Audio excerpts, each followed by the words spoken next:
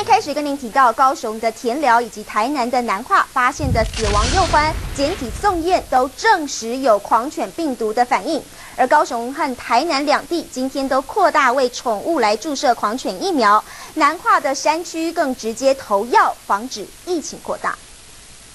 二十六号在台南南化山区被民众捕捉到了幼獾，没有多久就奄奄一息，无法站立。送往检验后证实已经感染了狂犬病，让台南南化山区也成了疫区。市府人员一早就进行大规模的消毒，同时施打疫苗，要避免疫情进一步扩散。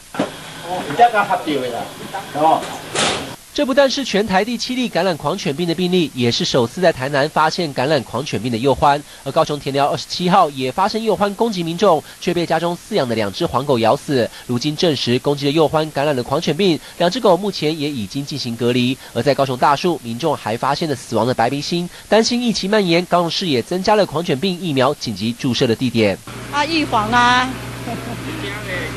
会怕啊。虽然白鼻青目前还不确定是否因为狂犬病而死，但是随着台南、高雄都相继成为疫区，真的让许多的民众现在相当担忧。